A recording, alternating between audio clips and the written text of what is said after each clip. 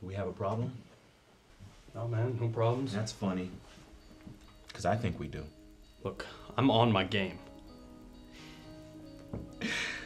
Just because you saw Superfly don't mean you understand pimping. Now, these hoes need instruction. And if you ain't got your shit together, they won't respect you.